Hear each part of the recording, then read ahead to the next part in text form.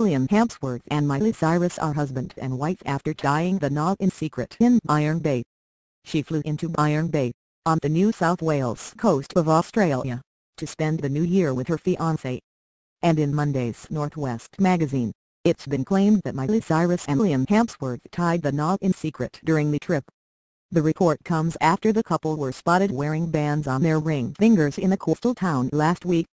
An insider reportedly said of the alleged nuptials, it's such a special place for them in Byron Bay. It felt right. The A-list couple called off their first engagement in 2013, but rekindled their romance in January 2016 while ringing in the new year in Byron Bay. It's where they realized that they couldn't live without each other and decided to really give their relationship another go the source reportedly went on to tell the publication. It was a no-brainer that it would be the place they tied the knot, they added. Daily Mail Australia has reached out to him and Miley's management for comment. This is not the first time the couple, who met on the set of the last song in 2009, have sparked speculation they have already tied the knot.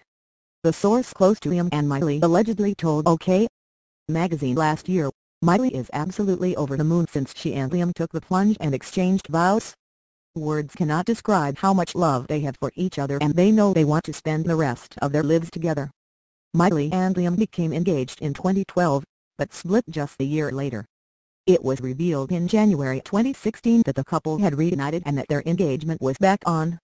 Miley has spoken candidly about their time apart, telling Billboard, I needed to change so much and changing with someone else not changing like that is too hard. Suddenly you're like, I don't recognize you anymore. We had to re-fall for each other, she explained.